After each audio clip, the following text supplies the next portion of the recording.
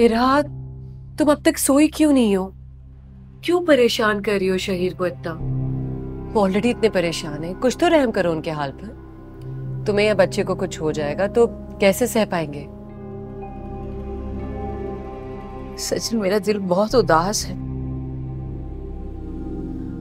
जब से दादी जान छोड़ के गए, मुझे नहीं सुकून आ रहा। ज़िंदगी और मौत हमारे इख्तियार में नहीं है। उनके जाने का वक्त था, वो चली गई। अब आगे का सोचो। अपना ख्याल रखो मुझे तुम्हारी बहुत फ़िक्र हो रही है। थैंक यू मेरा ख्याल रखने के लिए।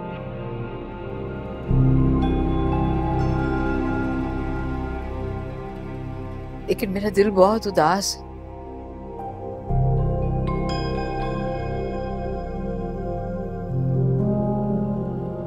रह रह के दादी की याद आती है मुझे। मैं तुम्हारा ख्याल ही रखूँगी तो और कौन रखेगा भला? हम्म? और उदास होने की ज़रूरत नहीं है, वरना मेरे छोटे से भांजे पर असर पड़ेगा।